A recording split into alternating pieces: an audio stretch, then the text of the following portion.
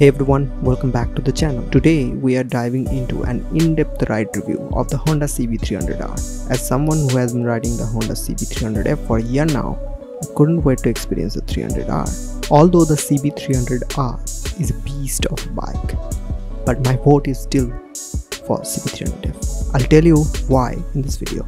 So let's get started.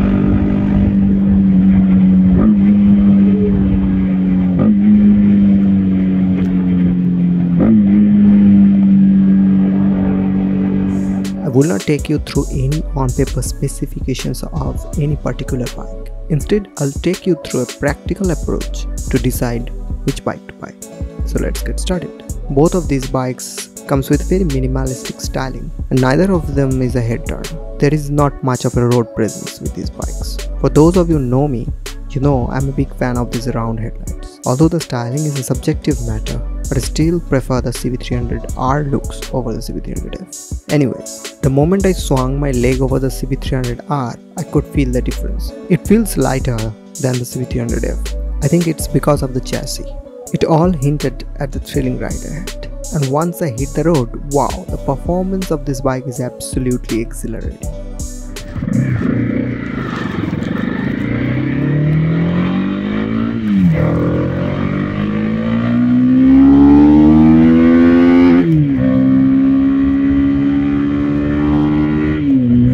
Moment you whack the throttle, you feel the power instantly. The CB300R is noticeably faster than CB300F and the performance is creamy.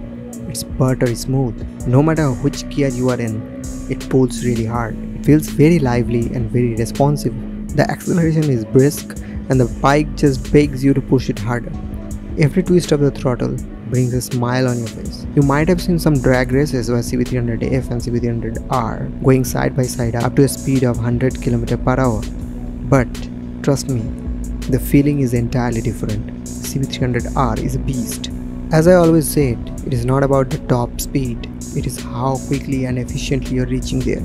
And that is where the CB300R stands out because it does it effortlessly. So if you are a purely performance oriented rider, I'll highly prefer stick with the 300R over CB300F. Now coming to the comfort of these two bikes, the CB300R comes with a softer suspension setup, offers you a very plush ride.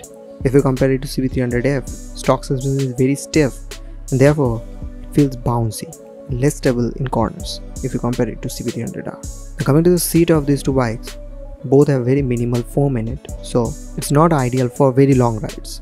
You have to do something with the seats or you have to adapt with it. Although the CB300F comes with a better pillion seat. So up to this point of time, the CB300R is a clear winner over the CB300F. But wait a while, the CB300F is still my first preference. I'll tell you why. So the point number one is its tank capacity. CB300F comes with a 14 liter tank, whereas CB300R comes with a 9.7 liter tank. And also, if you are pulling hard, or you are riding at a high altitude area, the mileage will drop significantly. So the range this bike can offer is about 250 kilometers. If you compare it to CB300F, it can go up to 450 kilometers. And when you are on a tour, you really want that longer tank range. My second point is its ground clearance. The ground clearance of CB300R is about 151 to 157 mm, whereas the ground clearance of CB300F is 177 mm. And if you know the roads of India, you know, ground clearance is really important. I've seen FZ and Pulsar to scratch their main stand in every speed breaker of Indian roads. And I have already done quite a few touring with some occasional off-road patches. And trust me, this bike never let me down. There was hardly any instances where the resonator box was scratching on the speed breakers. So yeah, ground clearance is very important if you are taking touring seriously. My point number 3 is its ergonomics, the rider's triangle. The handlebar of CB300F placed at a higher position, which offers you an upright sitting posture and that takes away all the forces from your wrist and feels like you are in the bike rather on the bike. Whereas in CB300R, you are already in a committed riding position, there isn't any room for the rider to move around. And for this, the wind blast is comparatively lesser if you compare it to CB300R. The fourth point is just my personal preference. You may take it or you may not. And that is, I like oil cooled machines.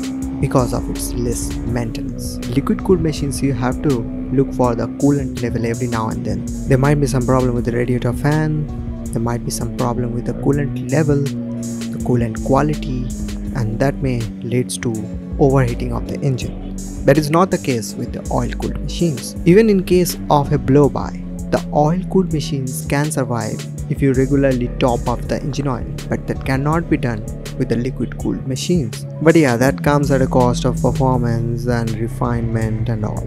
So yeah, you gotta decide if you want that extra bit of performance and refinement to trade with that peace of mind. And point number 5 is very straightforward the pricing. CB300F comes about 50 to 60,000 rupees cheaper than CB300R. So with that amount of money, you can buy all your gears for touring, all the necessary accessories that you will require for touring, and perhaps you'll still end up saving some money for your future tours. Although I really loved riding a CB300R, it's a true successor of the legendary CBR 250R. But if I had to pick one for a long distance trip and everyday use, the CB300F would be my go-to because of its more comfortable ergonomics, its practicality and everyday use. Thanks for joining me on this ride review.